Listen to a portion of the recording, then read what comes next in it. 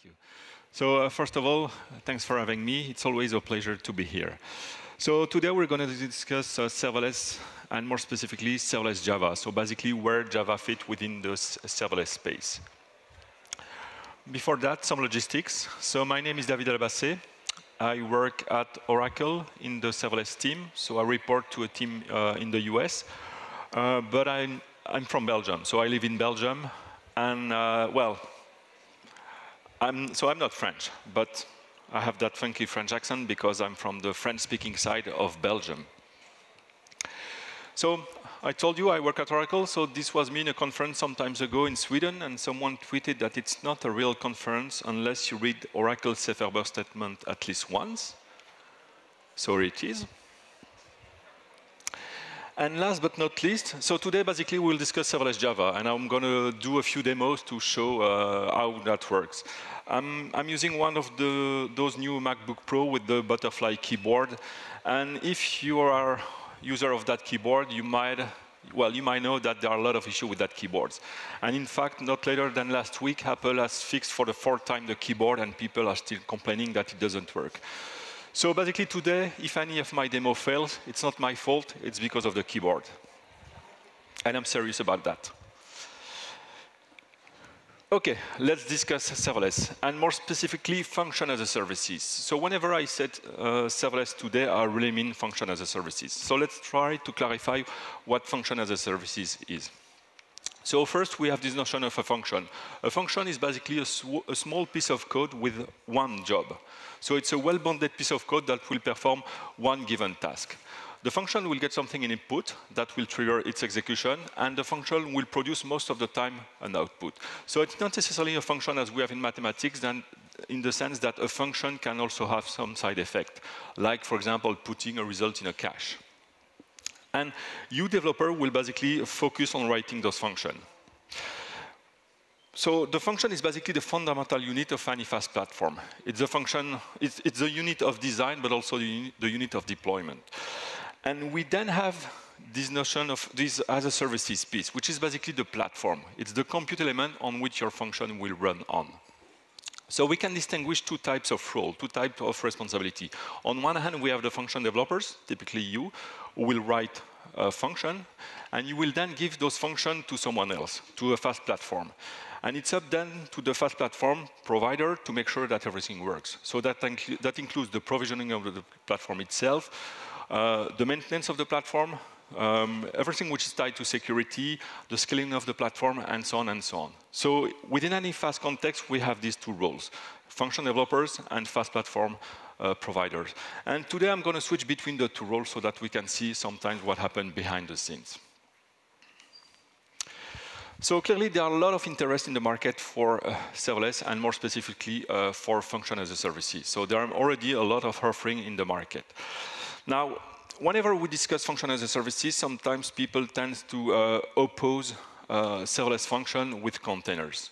And at the end of the day, it doesn't really matter, because if we peek under the hood, you will see that all the fast platforms are using containers.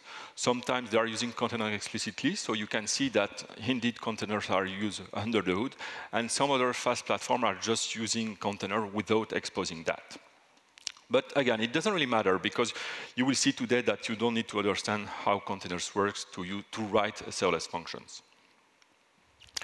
So let's dive in and talk about Java within the serverless space. So we know that Java is a very popular programming language. Um, it has been used for many years, and depending on where you look at, Java is first or second or third.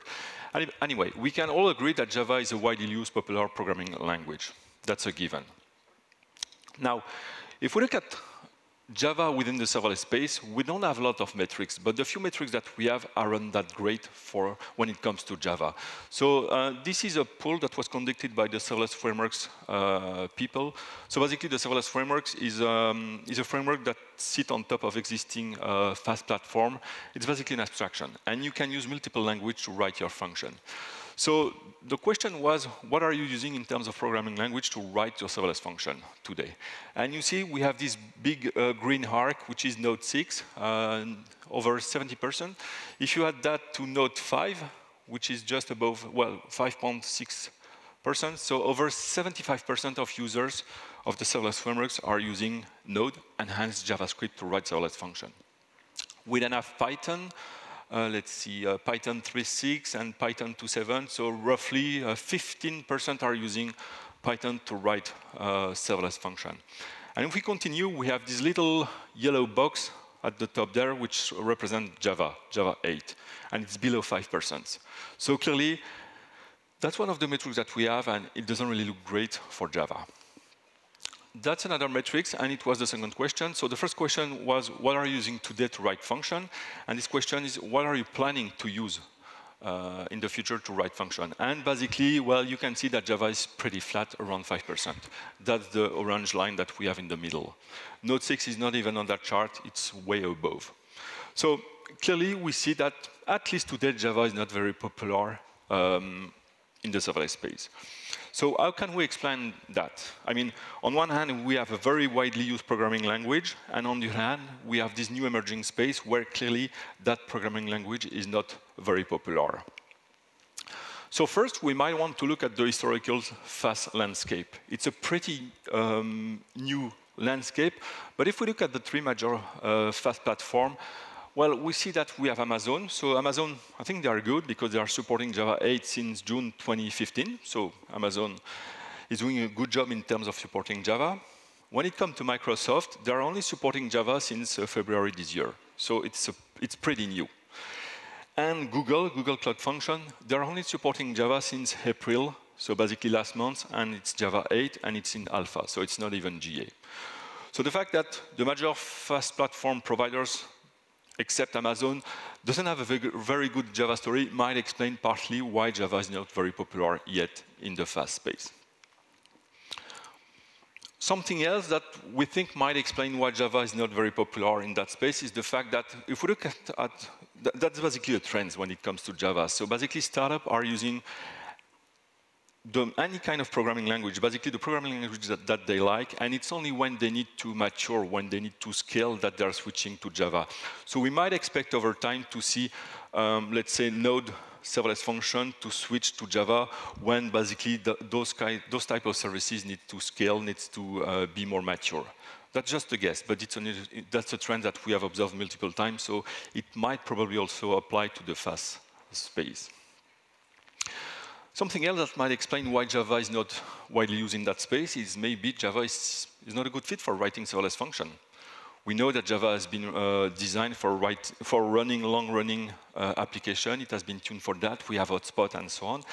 And serverless functions are by nature ephemeral. So a function is short-lived. The function will be invoked. It will perform its task. It will live for 100 milliseconds, 200 milliseconds, 500 milliseconds, maybe one second, and then it will die. Maybe the, the JVM is too expensive for writing that kind of very short-lived application. Who knows?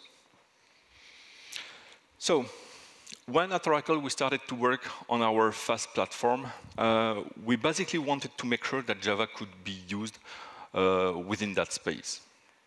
So we set ourselves some kind of goals, some kind of blueprints that we want to achieve. Uh, the ability to use plain old Java, the ability to keep existing toolchain, something which is important for Java developers. Also having the ability to build complex application. I will come back to that later. Then we have this whole question about very short-lived application. Uh, that's something that we need to address on the Java side. And finally, we all know that the Java virtual machine ecosystem is very rich. So that's something that uh, we also need to account within the FAS space. So to illustrate that, I will discuss and show you FN. So FN stands for function. It's basically an open source fast platform. Um, so it's an open source project that Oracle is contributing. Everything is on GitHub. It's an Apache v2 license. And one of the benefits of having a fast platform uh, open source is that basically you, as a user, can take the platform. So you can take the platform and run it in any type of cloud. You can run FN on top of Amazon, Microsoft, Google, Oracle Cloud, it doesn't really matter. The thing that you have to keep in mind is that if you are doing that, obviously you will have basically have to deal with the two roles. So you will be the function developers, but you will also have to uh, manage the platform. And there are clearly some use cases where it makes sense to have those two roles. And you, if you understand that, that's perfectly fine. If you don't want to manage the platform, well, user-managed version of FN, such as Oracle function, for example. One of the other benefits that we have with an open source platform is that you can also take the platform and install it on your laptop. That's what I'm doing uh, here. That's something which is obviously very convenient for uh, developing function. So technically, FN is written in Go. Uh, it makes sense. Uh, at the end of the day, this is an infrastructure project such as Kubernetes or Docker, and all those projects are written in Go. Go is a very nice language for that, kind, that type of project. But still, as I told you, we wanted to make sure that Java was a first-class citizen on top of that platform. So you will see basically how, how, it works, and you will see that Java is nicely supported within FN. Last but not least, in FN, FN is a, what we call a container native fast platform. So that means that everything in, FN is basically a containers. A function uh, is simply a containers. Now, it's not you as a developer who have to write a Docker file and so on. It's something that, that is managed by the platform. So as a function developer, you just provide the source code of your function, and it's then up to all the FN tooling to basically convert that into uh, Docker containers. And if you, don't, if you don't understand how containers works, that's perfectly fine, because everything is handled by the platform under the hood. So let's have a look at FN in action. So I told you that we can have FN running on, on, on a local laptop. The only thing that you need to have is basically have Docker running, given that everything is based on Docker. So I have Docker running here. It's empty, so I'm going to start FN. So for that, I'm using this FN uh, CLI command, which is basically uh, your gateway to FN. So with FN CLI, you will start, stop FN, you will have access to uh, statistics, you will have the ability to configure FN, uh, deploy your function, test your function, and so on and so on. So, FN is now started in detached mode, and if I look at my uh, Docker, I have an instance of FN server running. So the next thing that I want to do, I want to create a function. So for that, I will use the CLI again, so fn init, and given the context, I'm going to use uh, the Java runtime. And finally, I need to give my function a, a, a, name, so it will be called Duke. So out of the box, if I just specify Java, that will be a Java 11 function. So if we look at what has been created, we have a few files. So we have two classes, hello function.java. So that's basically our serverless Java function. So it's a hello world function that you can easily extend. And we also have this hello function test uh, classes, which is basically a, JUnit-based test uh, to test our function. And we have those two files here. So we have a pom.xml. So basically, in FN, a Java function is simply a Maven project. So that gives us the ability to keep using our uh, tool chain. And we have this func.yaml file, which is just a file that contains some metadata about the function. Like, for example, the name of the function, the version of the function, the runtime that we're going to use, the two type of image that the platform is, is using. So we're using two type of image, a build image that is based on a JDK uh, image that the, the platform provide. And to run the, the function, we are using a JRE uh, image that is also provided by the platform. Again, you don't necessarily need to uh, understand that. The only thing that you might want to know is the, the last line, which is basically um, the entry point of the function. So com.example.fn.hello function, that's basically our class. And in this class, we have handle request, which is simply uh, the Java method that corresponds to our uh, serverless function. So we have a Maven project, so we can use Maven. So Maven test, and our function is built locally, and it's tested using Maven and JUnit, and obviously uh, it passed. So the next thing that we want to do, we want to run that function to see what it does. So for that, we need to create an app. An app is just a namespace, so basically a way of grouping together related function. So let's create the J prime app. And if we look in the G, so let's list the app. So FN list, and we have a bunch of apps, including J prime. And if I look, so functions in J prime, it's empty. There's no function for uh, in J prime now. So to run the function, I need to deploy it. So fn deploy within the J prime app. Um, I don't need to specify the function, given that I have a local.func.yaml. But to see what's going on, I will have the verbose flag, and I will also add uh, minus minus local so that we can save some time. So basically, this is, this is uh, what happened behind the scenes. So basically, you see that the FN CLI uh, is basically using uh, Docker to, um, to build the function itself. So everything is, is, is, done within Docker. So we are using Docker to build the function. So basically, uh, we have a jar. So uh, here, Maven. So the output of that uh, Maven package is a jar. And next, the CLI is using the JRE image, and it's a multi-stage Docker build. So basically, it takes that uh, that uh, jar, so the, our function itself, and it put it uh, within that image, and that will basically be our uh, serverless Java function. Again, I'm just showing you how it works behind the scene, but that's not something that you need to uh, necessarily understand. And now, obviously, we can invoke the function. So fn invoke, the function is in uh, the jprime uh, app, and it's called Duke. So it's a simple hello world function, right? So let's have a look at the code. So given that we have a Maven project, again, we can keep using our uh, tool. So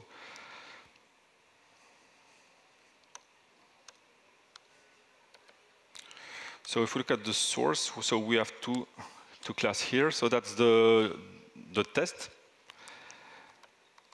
and source main, and that's the function. So it's a simple uh, function. So you see it basically it has one method. That method has been defined in the func.yaml. Uh, in this case, it gets a string in input and it would produce a string in output. So, uh, well, this is a simple uh, basic function that you will uh, use to basically start your function. The thing that you, need, you should notice here is that there's no annotation, there's no interface. So this is really plain old Java code. There's nothing specific here uh, for FN. Now, I admit this is pretty basic, so let's do something like this. So let's create a new Java type. So let's create an event type. An event has a name, obviously, and an event as a date. I need constructor, I need default constructor, and I need getter and setter. So what we have here, we have this new event type, which is pretty basic. And what we're going to do here, we're going to create an event object. Uh, we're going to use the input as the name, and we're going to use the sorry the date as the the, uh, the now date as the date. And instead of returning the, the string, we're going to return that uh, object. It doesn't work because I need to update the signature. So we have changed the method the, sorry, the, the, the, serverless function to basically it get a string and it will produce a new uh, event type.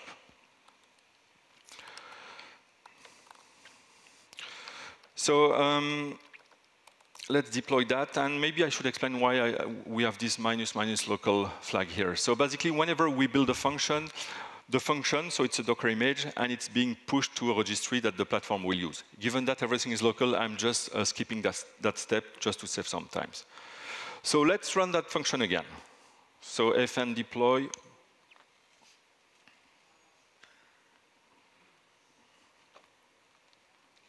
So the function is being rebuilt, and the Docker image of the function is also being rebuilt. And it failed. Anybody has a guess why? So if we had the minus v, we'll have a verbose mode, and basically, yeah, it failed because of the test, so I need to fix the test.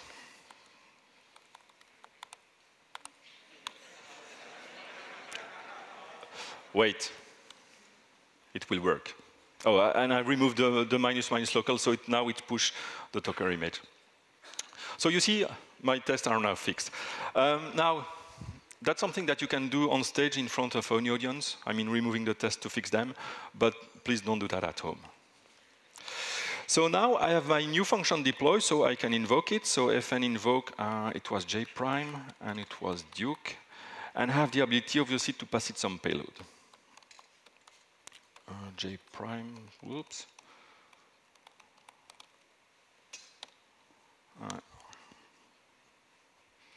Let's jq that. Oh, so you see here, that's what I was uh, telling you. So you see here, there's this space, and because of my uh, funky keyboard, this is not a space, this is just something else. So if I do that, so watch, this is real space, and now it works. So I wasn't lying when I told you that the keyboard break my demo. So this is now the output of the function. If we look back at the Java code, again, this is plain old Java. So the only thing that my function uh, uh, gets is some string, and then it produces in output this uh, event type that I've just created. So uh, this is something that is possible because FN provide a Java FDK, so a function development kit. So the Java FDK provides uh, support for JUnit, support for Maven, but also input and output coercion. So that's the ability to pass some JSON payload that will be automatically converted to a Java type, and that goes obviously in two directions, so input and output. Um, the Java FDK also provides the optimized image that we are using to build the function and to run the function. So that's basically uh, some of the capabilities that are provided by the Java uh, FDK of FN.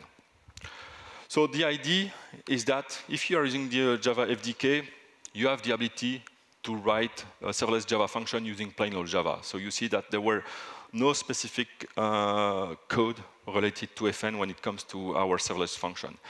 And we were able to basically keep using our tool, uh, existing toolchain, like Maven, uh, IntelliJ, but I could have used Eclipse or NetBeans. It just worked. So something else that the Java FDK provides is the ability to build complex applications. So remember at the beginning, I told you that um, a function is short-lived. So a function are ephemeral, so a function will be invoked, it will perform its task, and then it will die maybe one second later.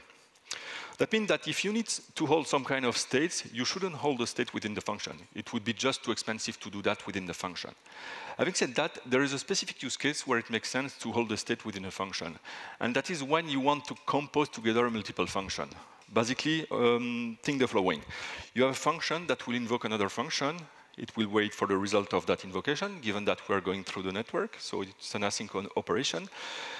Once the main function has the result of that invocation, it will in invoke another function, and so on and so on.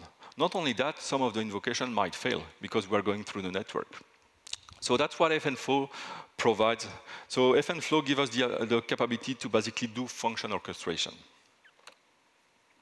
So it's basically exactly that. So we have functions that can orchestrate the execution of multiple functions. If we look at the API of FNFlow on the Java side, it's very similar to the completion stage API that we have in Java SE. At the end of the day, those API are performing, are offering the same capability. So in Java SE, we have the completion stage API that gives us the ability to define pipeline execution of asynchronous task.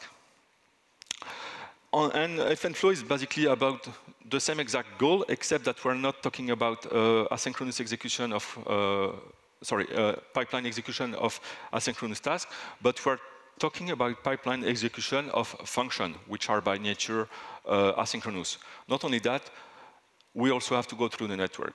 So that's basically the fundamental difference between the two. One, everything is done within one single process, that's the completion stage API, and the FNFlow API, obviously, given that we're talking about function, we're going through the network.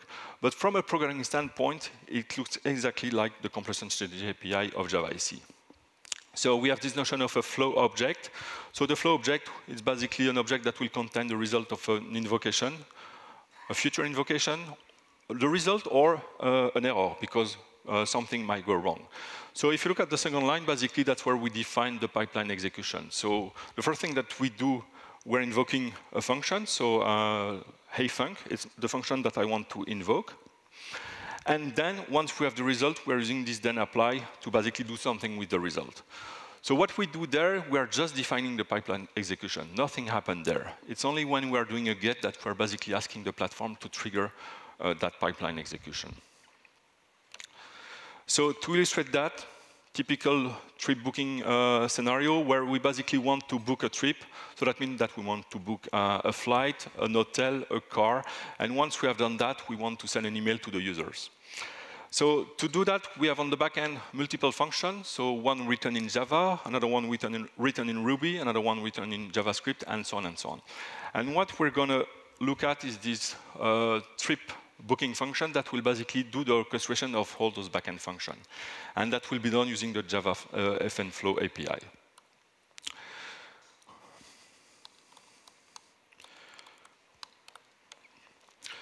So um, if we look, if I, oh, sorry, Docker PS. So I have, I need to uh, do, again, I need to, I need to take my uh, fast platform provider hat and need to start a few things. So I'm starting three additional containers. Uh, so we had FN server running, and then I'm starting a flow server. So that's basically an adjacent server that will uh, manage the state of the function orchestration. So that one is really needed. The other two are just needed for my demo, so that we can see basically what happened uh, behind the scene when we run on this demo. So if we look at the apps that we have, we have a bunch of apps, and you see at the bottom that we have these travel apps. So if we look, so FN list function within the travel apps, we have a bunch of function. And I forgot to do something. I need to configure my so, I'm sorry.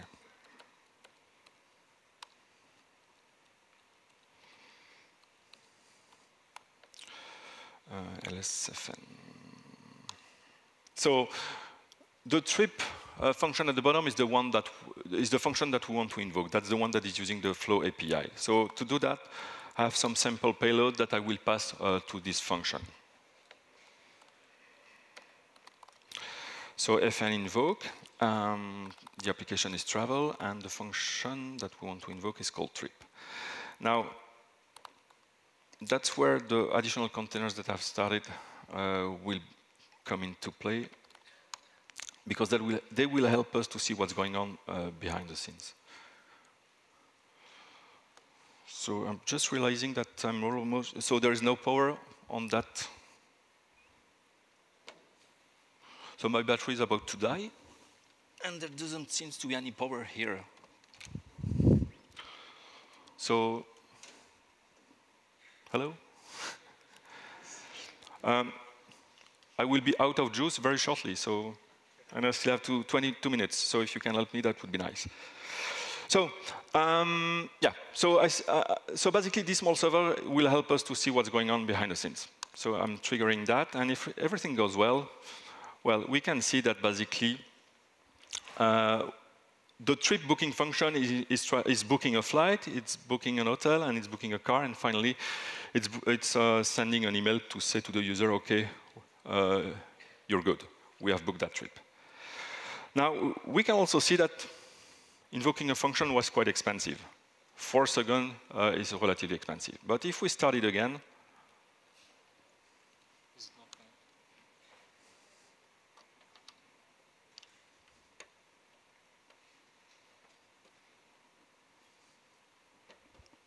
this one, maybe.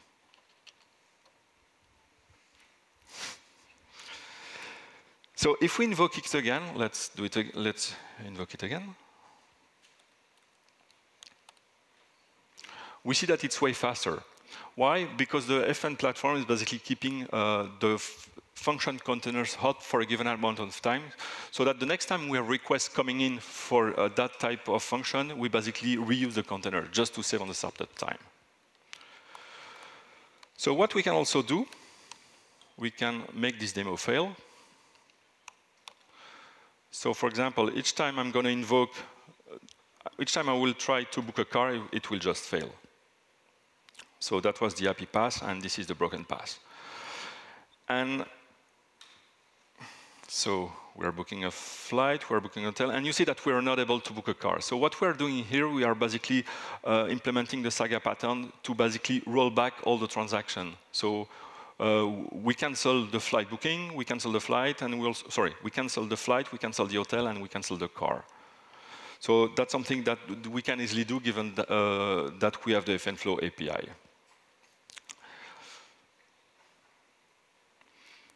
So that's basically the FN, uh, so the FN flow, it's not limited to Java, but what I've shown you here is that we are using the FN flow on the Java side to orchestrate function written in any type of language.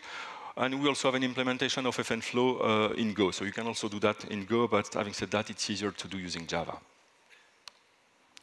So the ability to build complex application is something that we can certainly uh, do with serverless Java function.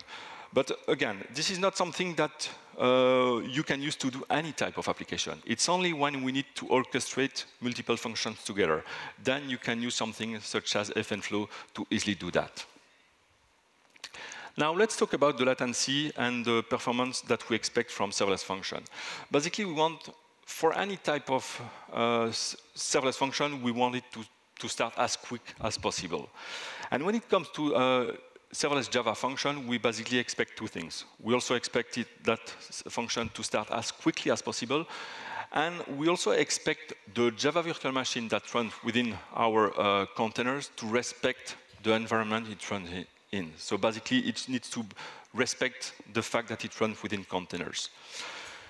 So I'm not going to spend too much time on this slide because it's very busy, but what the takeaway here is that uh, since Java 8, we are doing the investment in the Java platform to make sure that Java can work nicely when it runs in container.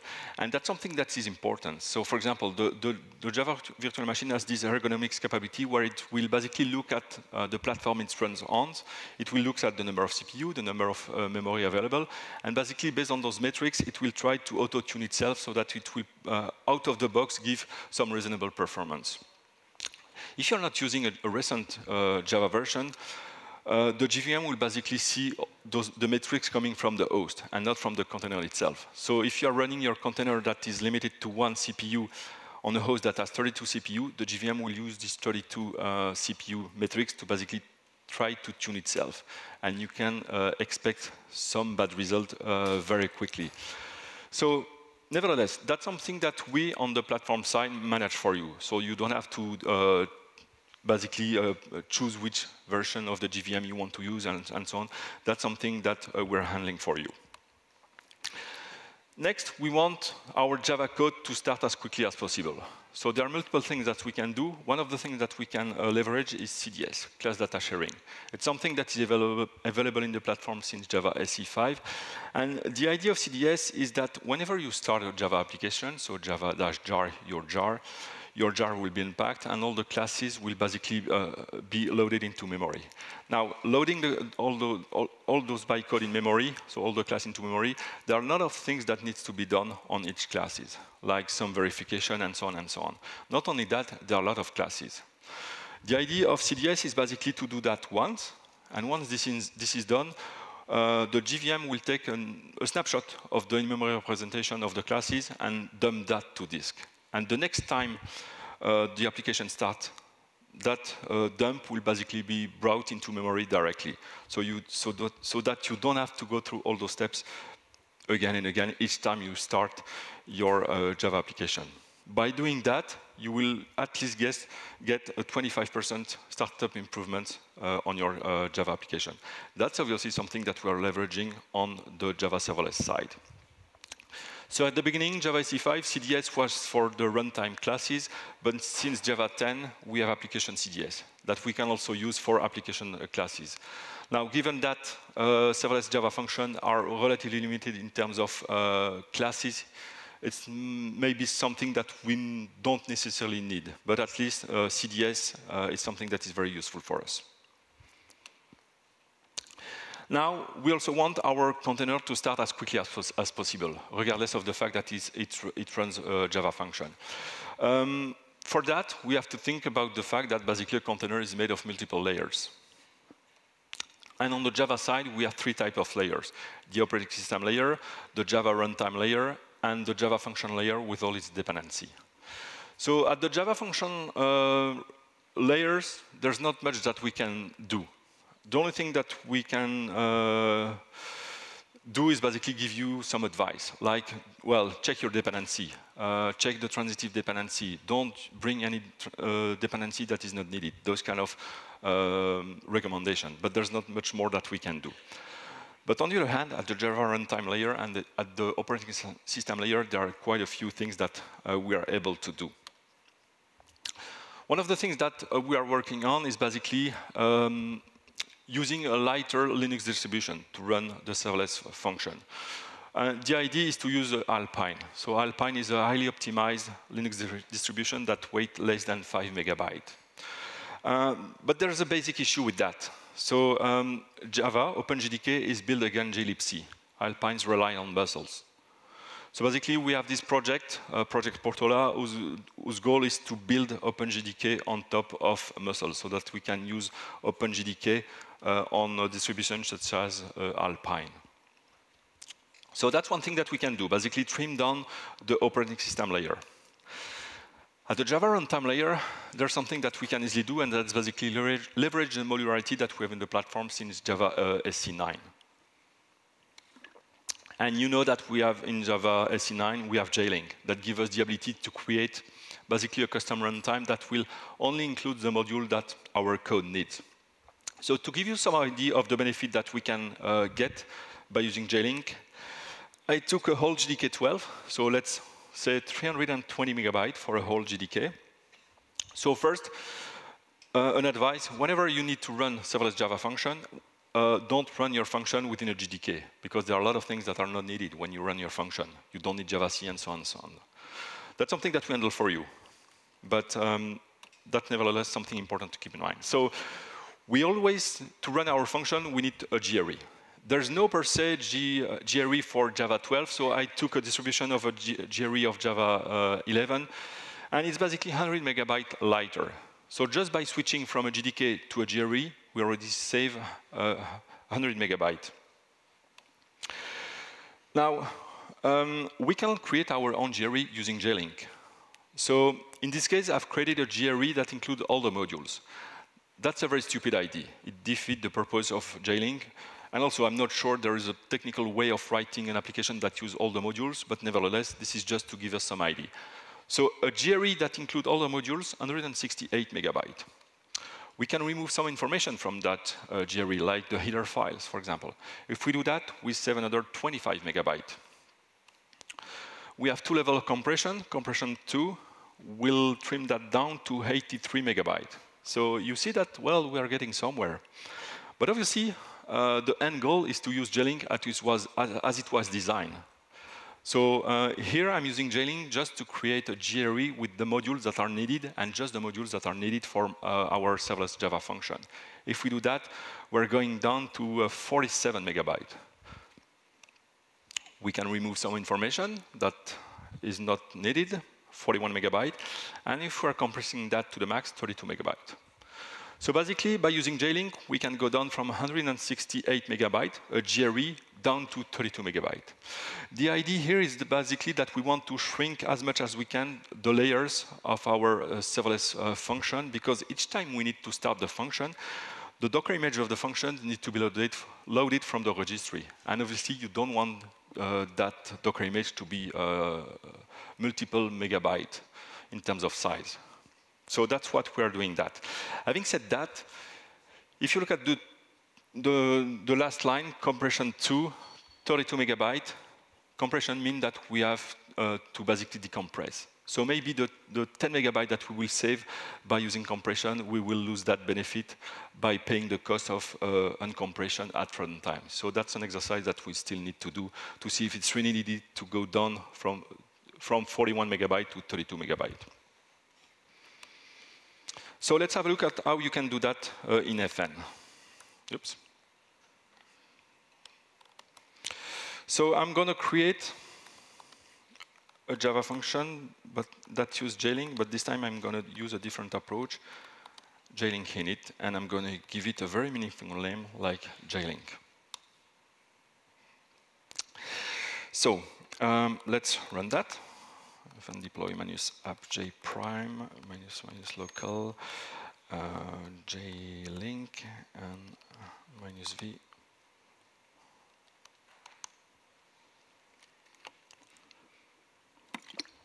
So the function is, is deployed. We can invoke it. So fn invoke uh, j prime, uh, j link, so it's a very basic function where you give it a day and it will uh, answer you something. That's not really the point.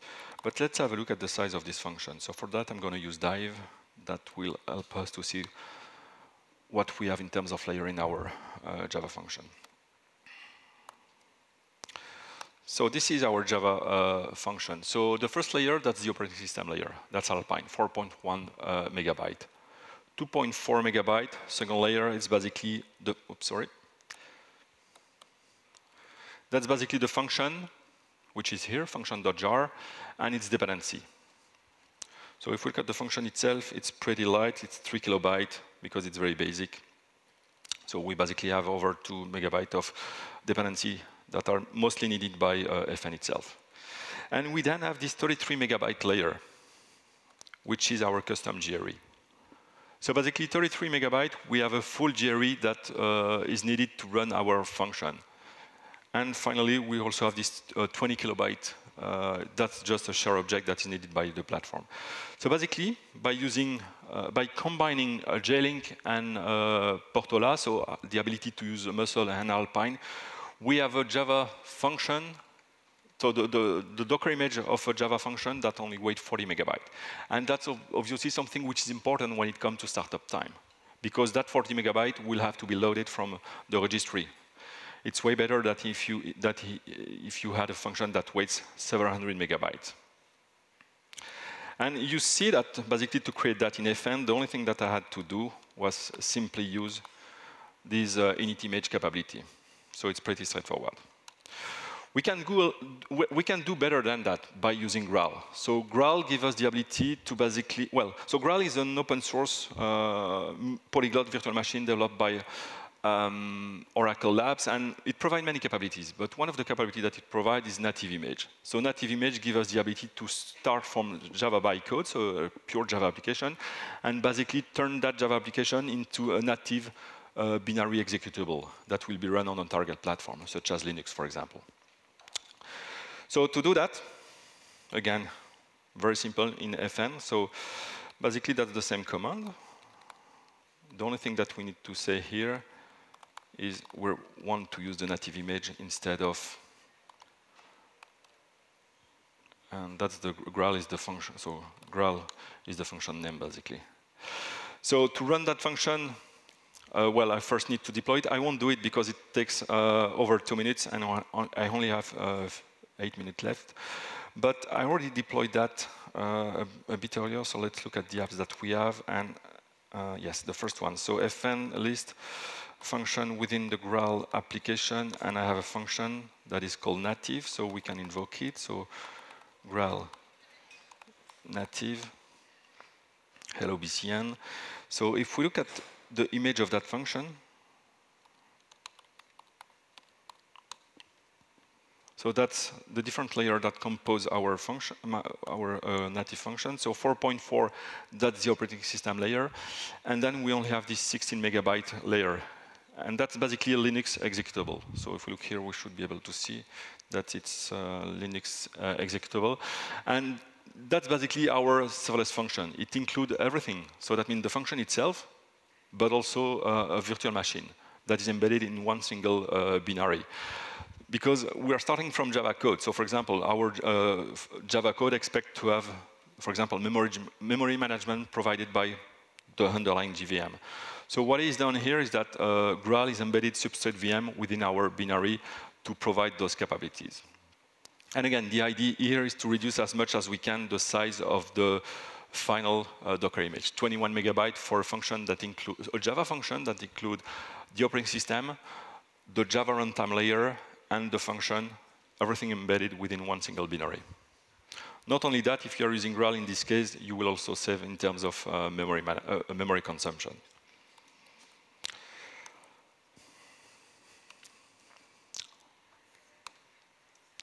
So low latency, high performance, I think that you saw that we have tools and techniques on the Java side that can help us to reach the latency and the performance that we expect from uh, within the serverless space.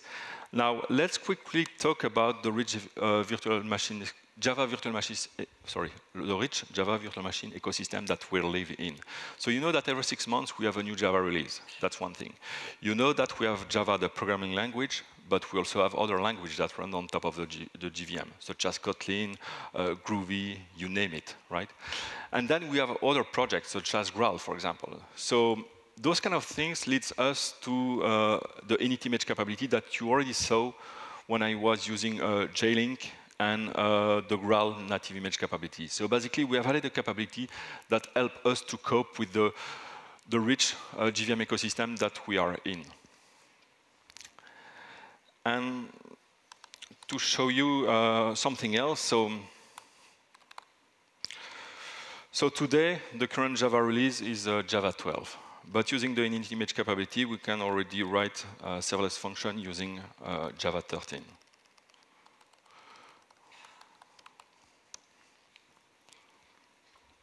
So uh, let's see, uh, Duke 13, meet.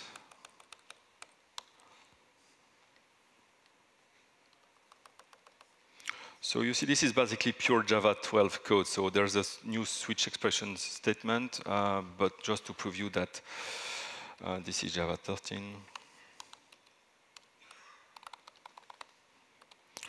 Uh, system get property, uh, I think Java version. Please correct me if it's not that.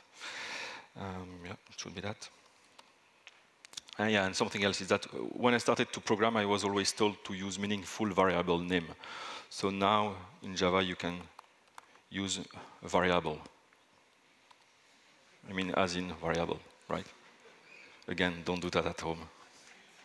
I'm very bad at cracking bad jokes, sorry. So fn deploy. Um, mine is app. Uh, so we want to deploy that within JPrime and uh, should be good. And we're going, we won't push the image. And let's see if I did any typo, and it built, so it should be good. It don't build. Uh, get property, that's the keyboard, that's not me. Property, property, yeah.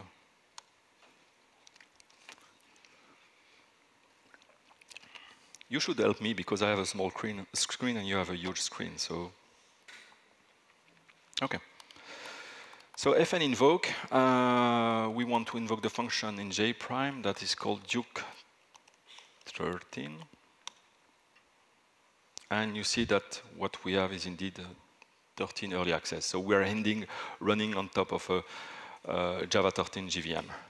Something else that I can show you is uh, this. So, I'm, so basically, I'm using the fn CLI to invoke my function. That's just a shortcut. But obviously, at the end of the day, uh, you want to use something else to invoke your function. So uh, inspect uh, j prime, and the function is called duke 13.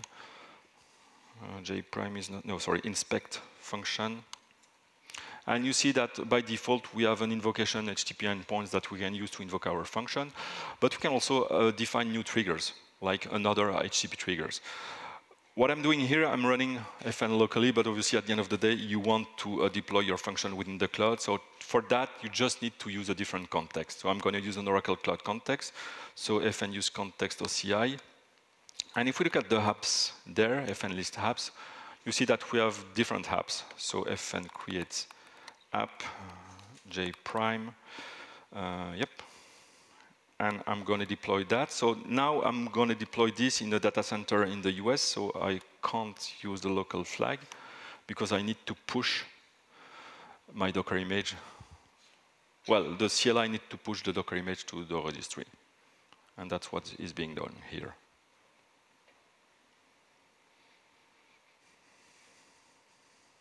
And if I inspect that again, uh, oops, Duke 13. So you see that I have an HTTP uh, endpoint that I can use to invoke my function over the, over, uh, the cloud. So the init image capabilities allows us to really support uh, the JVM ecosystem. Not only that, that's something that you can also use to add support for new language. Last month, someone has added support uh, for .NET, for example, on top of FN. So that's something that helps us to basically make FN very open. So rich JVM ecosystem Yes. So serverless Java, does it have a future? Absolutely. We clearly think that with projects such as OpenJDK and GraalVM, it's just the beginning. And to be fair, today I've used FN because Oracle is working on FN, but there are other FaaS platforms, open source FaaS platforms that are also leveraging OpenJDK and uh, GraalVM. So clearly, uh, Java has a very bright future within the serverless and the function as a services space. So the call to action, please give it a try. Everything is there, it's open source, github.com slash fnproject slash fn, that's the main repo. You just need to have Docker installed on your machine, and in less than two minutes, you will be able to uh, start the platform and bootstrap and run your first, first function. And if you, if you like what you, well, if you like it, please give, it, give us a star. It's free, and it's something that is always appreciated. So I will just conclude uh, by mentioning that Oracle has announced Oracle Function, which is our managed FaaS platform. Under the hood, it uses FN. So if you don't want to manage the platform by yourself, well, give it a try to Oracle Function when it will be available. We will have a free tier, and you can you will be able to basically uh, do tests and see uh, how things works. So with that, I'd like to thank you for your time. Thanks.